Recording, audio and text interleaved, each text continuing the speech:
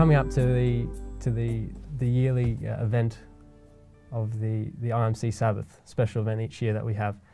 Can you tell me a little bit more about the IMC?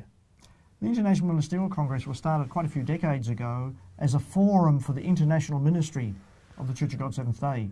Uh, we discovered through the Bible Advocate other mm. mechanisms that, that the body of Christ in our community was growing. The Church of God Seventh Day began in North America and Canada and began to get a lot of requests in the 1930s, 40s, and 50s.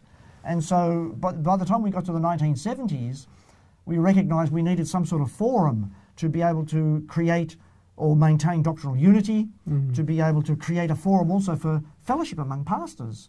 Because we, this, you know, we had a lot of church communities in very isolated parts of the world. So look, we, we read the same scriptures as you do, and, mm. and we're looking for a church that matches up with what we read in scripture.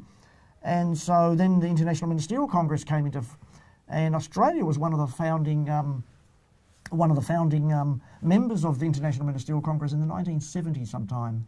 And so the mandate of the IMC has grown since then to not only just be for doctrinal unity and for fraternity and fellowship among mm. pastors mm. and leaders in the church, but also produces a environment for collaboration, for sharing the work of evangelism, of supporting various ministries around the world. And we've been involved in producing material that local churches can use both by way of constitutions, policies, guidelines, um, assisting in various types of ministries like orphans ministry, projects. Um, so we've certainly grown from the 1970s to recognise that we're no longer just a, um, a ministerial organisation. We've taken on a whole lot more that ministers in the lives of the Church of God Seventh Day around the world. Mm.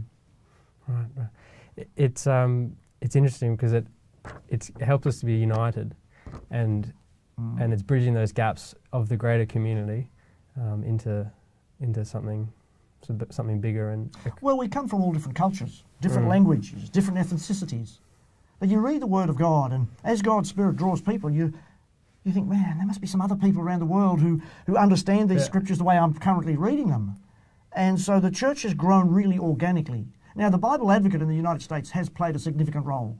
So you'll have small groups of believers mm. reading a magazine and going, wow, let me compare, look at those scriptures.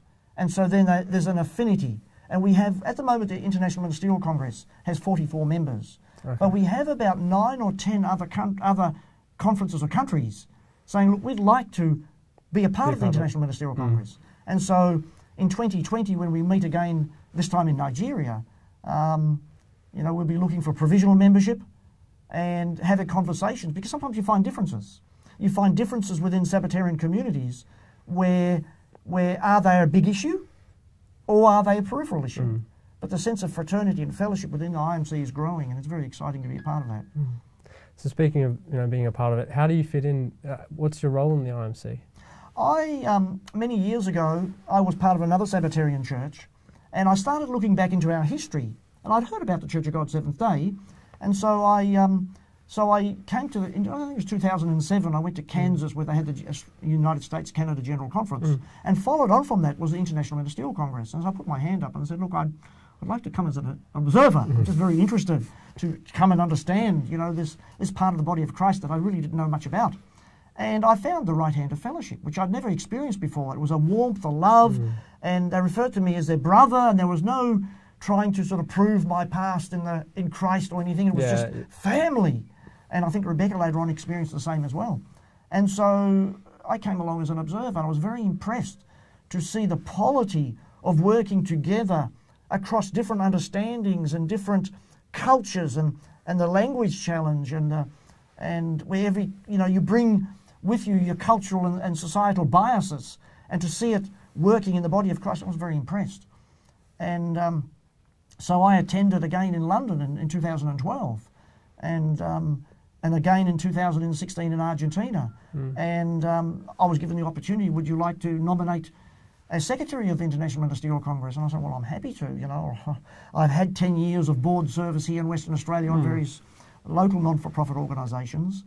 And so it's been an opportunity to serve and to prepare the role for the next secretary who will take on after I step down the, the interesting thing it is, it's it given a beautiful insight into the dynamics of of the Church of God Seventh Day, not no longer as an observer looking from the outside, but sharing on the exec- executive and seeing the love of Christ in people's lives and that Christ centeredness that moves us together in unity. Without that, there's a disparity and a brokenness that we reflect on society. And so it's been a real honour to be able to serve in the leadership at this time, um, at a very critical, critical time, Joshua, Mm. because we see the church has grown around the world, but there's never been a Church of God Seventh day international body. The ministerial, on. International Ministerial Congress has sort of facilitated that. Mhm. But while there's churches of God Seventh day in the very countries, there's not a unifying Church of God Seventh day international. Mm. And so we've been working a little bit of work in the background to present at the Congress in, in Nigeria next year a plan for an international federation of the Church of God Seventh day, which will g- bring us great opportunity and mandate to work collectively, to have stronger communication, and to be able to work stronger in evangelism. And so it's a very exciting time that we're at within the International Ministerial Congress. Well, when Christ says, you know, He will build His church, it's not churches; it's it's one church, and then so working in that That's right. um, and That's right. bringing all And together. it's, it's understanding that we are a part of the body of Christ. You have what we understand as best we can explain it Mm. the visible church Yeah. and the invisible church. And sometimes you might meet somebody who goes to another church, but you think, wow, they are filled with the Holy Spirit. And that's the fellowship. So, the International Ministerial Congress, that's where I appreciate the right hand of fellowship because it gives us as a body that we work together to extend the right hand of fellowship to others and recognize what God is doing among us. And it's bigger than we can imagine. Sometimes, like the disciples in the first century, looked at their small patch and said, Jesus, stop those other people. and he said, if they're not against, if, if, they're, if they're not against us, they're for us, kind of thing, you know. And um, and so it's very exciting to have that bigger view. And it's very hard because we live with a small view set. You know, sometimes we, we can be very myopic. I, things for me many years ago was very black and white.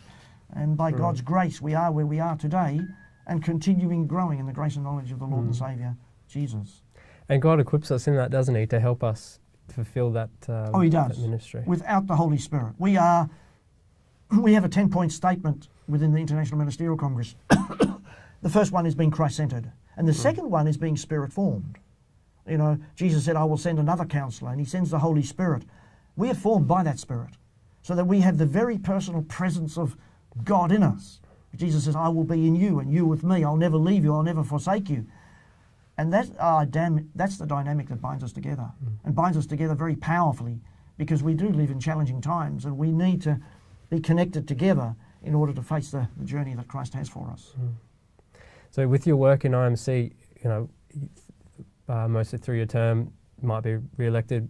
Not sure what the future holds, but how how has you know where you've been really helped you to step into this role and hopefully um, to build the way, pave the way, and, and you know if it is to, to pass on the baton to the to the next um, server. I, server you have class. it in your heart, Joshua, sometimes that, Mhm. you know, a calledness to God. And you don't know, even as a youth, I wrestle in my mind, you know, I, I, I understood God existed and understood so much about discipleship. But I basically, in the early part of my life, just warmed a, a seat in church mm. and lived a fairly disempowered journey. And it was probably in my mid 30s that I read a book on discipleship. And the, the, the premise of the book was Jesus hasn't called you just to be saved or to go through the process of salvation. Mm. He's called you to feed my sheep, to step up into discipleship. And suddenly I, I had an epiphany. Now that's only because of God's Spirit. It wasn't because I have any hi- higher intellect. No. and so that from that moment onwards, I was personally challenged. And when you're personally challenged, you can look at regret on the past and think, ah, that's the status quo. So what? No. By God's Spirit, you're counseled to grow in the image and stature of Christ. Because once you recognize what the, one of the things about the first century disciples, apostles, they were prepared to love so much to the point of sacrifice. They loved the Lord so much. I never thought like that.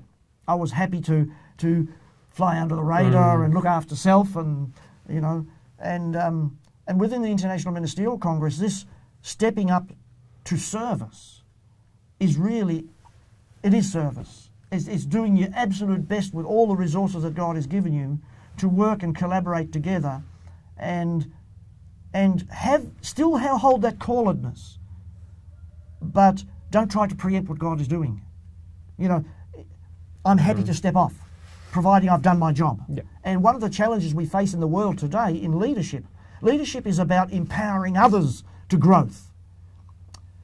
You look at politicians and world leaders, how difficult it is for them to step off the platform. And one of the things is mm. John the Baptist understood something. He said of Jesus, He must increase and I must decrease. But mm. even John the Baptist struggled with that because then he en- engages Herod at a particular level that cost him his life. Mm. And that, the preeminence of Christ is sovereign. You know, every time I mm. share a message, either through video or, or sermon, mm. my goal in my heart is that those who are listening by the Holy Spirit are connected to the Lord all the much more. And I've just simply been the vehicle. And um, if we keep that in mind, then we'll remember Jesus' words where he said, you know, call no man rabbi, for you are all brothers, mm. and you have one teacher, the Christ. That's very humbling. We're all brothers. You know, no matter where we've come from, no matter what our education is, um, one Lord, one faith, one Spirit, and being formed in the image of Jesus Christ. Well, thank you for your time, John. It's been a, a pleasure to chat, and uh, look forward as the as Kindle grows within us and our community to see the, the good work that God's doing. To him be the glory, and that's the, really the bottom line. And if we can encourage others to look upward, outward, and give him the thanks, then that's what it's all about. So it's been really good. That's Thank you. Joshua. No worries. Thank you.